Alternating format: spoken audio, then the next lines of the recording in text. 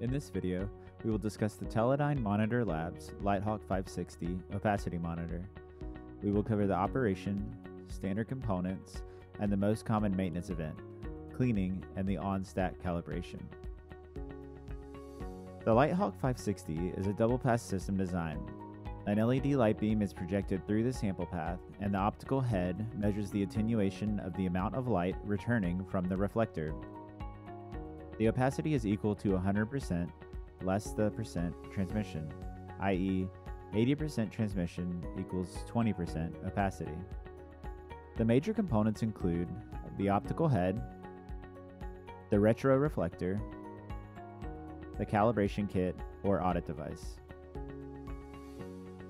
The optical head contains all the electronics necessary to focus and project the light beam across the sample path, receive the light reflected back into the detector, determine the light attenuation, and deliver an opacity reading.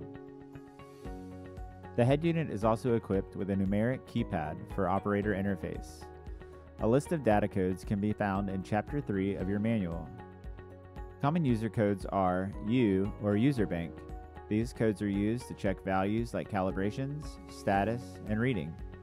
S or service bank codes are used to make changes to values during the maintenance event.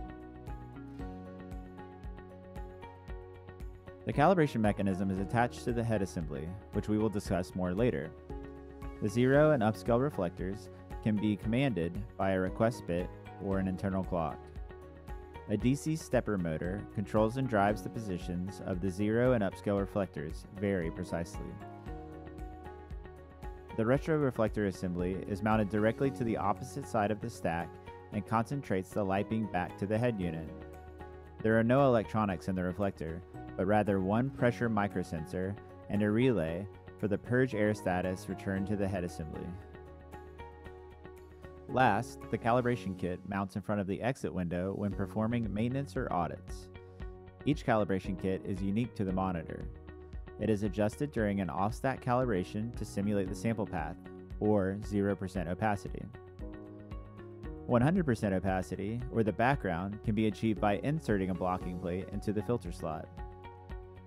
Filter slot is also used to house the NIST certified neutral density filters during a quarterly audit. So let's begin routine maintenance and perform a cleaning and on-stack calibration. First, let's review our tool and equipment checklist.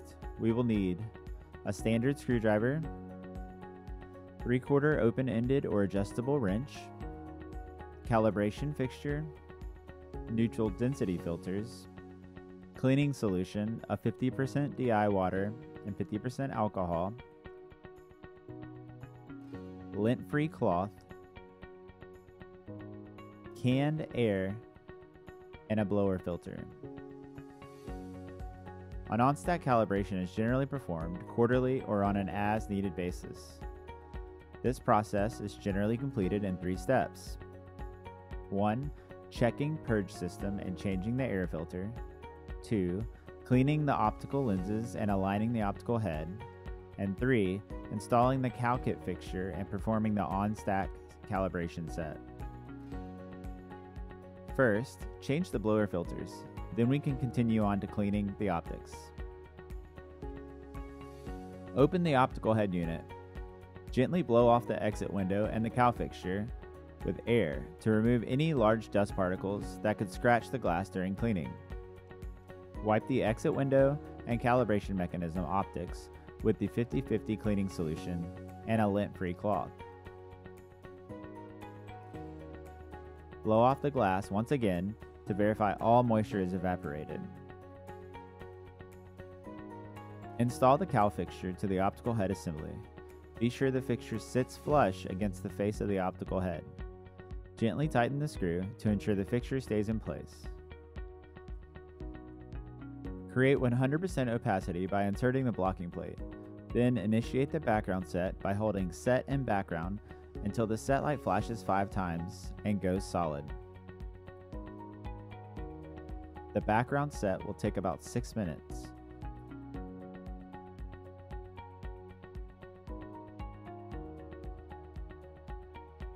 Once the set light goes out, remove the blocking plate. With the blocking plate removed, you can now initiate the normal set. Do this by holding set and normal buttons for about 6 seconds or until the set light goes solid. The normal set can also take up to 6 minutes to complete. Do not disturb the unit during this process as the ClearPath current reference values are being re-established. Once the normal set is complete and the set light is out, you can now perform the zero set. For this last set, you should remove the cal fixture.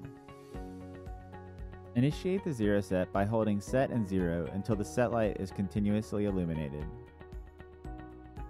Once the zero set is complete, the unit requires two calibrations to calculate dirt.